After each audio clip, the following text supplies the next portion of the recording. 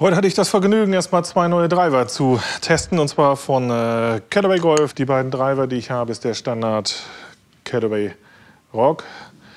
Mit 10,5 Grad Loft habe ich ihn testen können. Als Schaft stand zur Verfügung ein neuer Schaft. Das ist der Aldila Synergy in Regular. Ich habe ihn damit erstmal geschlagen, habe aber später die Schäfte nochmal getauscht. Und ebenfalls Neu im Programm sind die Evenflow-Schäfte.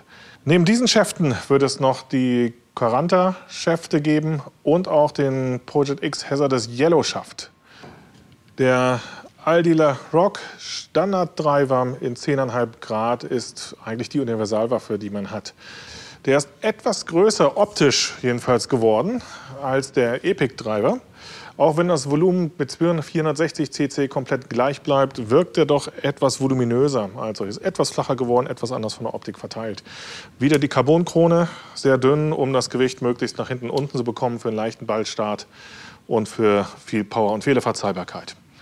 Die Driver haben von der Epic-Serie sehr viel übernommen. Einmal wieder die sogenannte Jailbreak-Technologie. Wir haben hier also diese zwei Stäbe, die die Schlagfläche stabilisieren sollen, damit äh, überall mehr Ballgeschwindigkeit ist. Ja, das hat er auch. Ich habe damit sehr, sehr gute Ergebnisse. Äh, sehr spannend. Für mich wirklich die, der erste Test. In einem Regular-Schaft ging er mir oft ein bisschen nach rechts raus. Das liegt nicht am Driver, das lag definitiv an mir, weil ich die Schäfte nicht so gut spiele. Ich habe dann den Schaft, den ich jetzt, ich drehe es mal um, ich habe jetzt auch den Schaft, den ich in äh, meinem Epic Driver gespielt habe, den Oban Hashimoto, das ist ein Sonderschaft. Den spüre ich einfach unglaublich gut. Das Ganze kombiniert mit dem Rock habe ich Weiten, auch mit Schwunggeschwindigkeiten um die 100 Meilen, knapp drüber zum Teil, von über 230 Meter Carry. Ich glaube, der weiteste Schlag waren heute 2,44 Carry auf knapp 2,60, 2,65 mit Roll. Äh, ehrlich gesagt, das habe ich lange nicht mehr gehabt.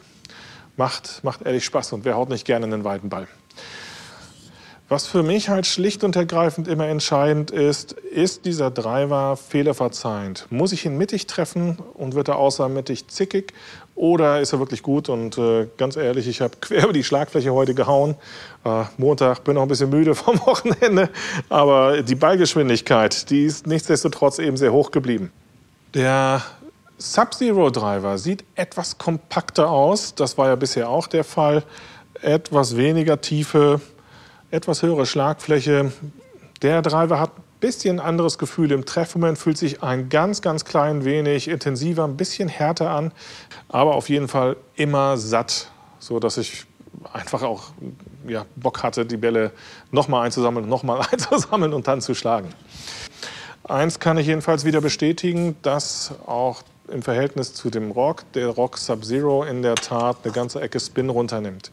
Als zweites habe ich das neue Callaway Rock, in dem Fall die Sub-Zero-Variante, als Holz geschlagen. Was hier neu ist, dass auch hier jetzt die Technologie des Drivers, was im Epic eingeführt worden ist, mit den beiden Stäben für die Stabilisierung eingeführt worden ist.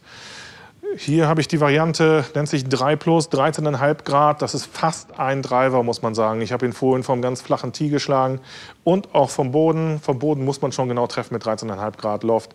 Aber dann Carry 210, das kann schon ein Ersatz sein für manche auch statt Driver, wenn man lieber eine Hölzer spielt. Funktioniert gut, klang sehr, sehr satt. Ich mag es. Ähm, ich glaube, da werden wir viel Freude mit haben. Was Callaway noch erzählt, dass sie mit Boeing ein Aerodynamik-Paket, was auch immer, eben dort gemacht haben, im Windkanal waren, bestimmte Tests gemacht haben. Ja, da weiß ich nicht so recht, ob das hinterher sich in der Praxis so doll auswirkt. Ich schlage beide Driver in einer ähnlichen Geschwindigkeit. Kann natürlich auch sein, dass der Epic auch schon gut war. Aber dass das nun in der Praxis so relevant ist, kann ich nun nicht behaupten. Was viel, viel wichtiger ist, ist wirklich die Schlagfläche, dass der Driver enorm gut reagiert, auch außermittig im extrem weiten Bereich. Das macht für mich eigentlich den Hauptwert aus.